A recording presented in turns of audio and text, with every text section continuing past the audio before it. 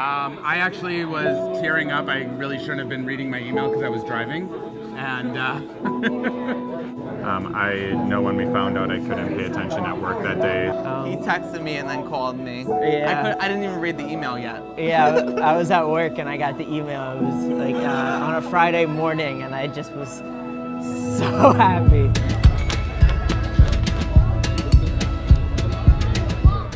Thank you guys so much for being here tonight. GPAP is really the heart of our organization.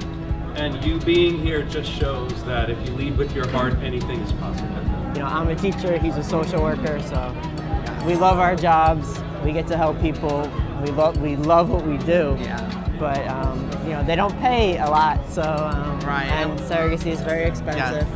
So without the program, we, it wouldn't be possible. to get the actual support from MHB in terms of the GPAP program it was tremendous because otherwise I don't think we would have financially be able to start with surrogacy. For us to be able to have a child, we would not be able to financially afford a child through gestational surrogacy in any other way. it actually is our dream come true. I mean, we're together for almost 14 years now. So the family's kind of like that next step for us. GPAP, they opened uh, a world to us where we were able to meet many more different uh, agencies and clinics, and uh, they uh, they basically enabled us to be able to have our child. So, so for that, we'll be forever grateful. I mean, it let us have a family. I don't know how we could be more thankful than we are You are helping us make our dream come true, and I'm going to be grateful for the rest of my life.